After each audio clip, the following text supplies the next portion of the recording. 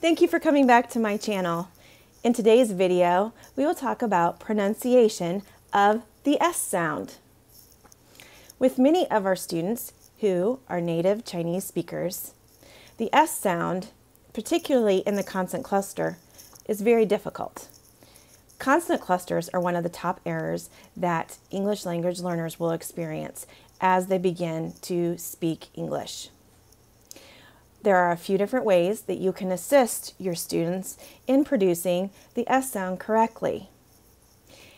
If the student is producing the S sound like this, this is called a frontal lisp. In this instance, you can do a couple of different techniques.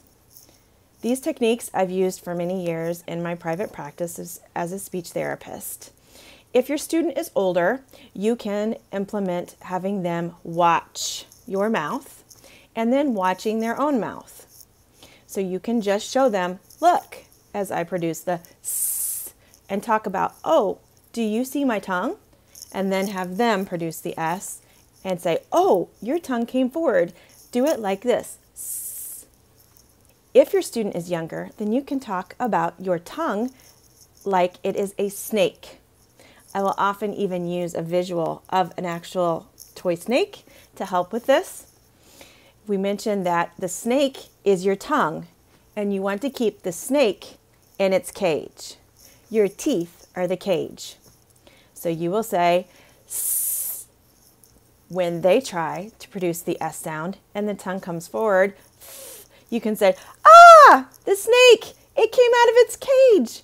It needs to stay in its cage course, the students often think that this is very funny and it gives them a way to continue to practice the sound and also think about how their tongue needs to remain in their mouth to produce this particular sound.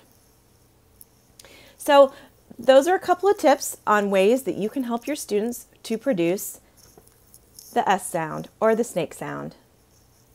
Remember, many of our students also struggle with having the S sound to indicate plurality at the ends of words.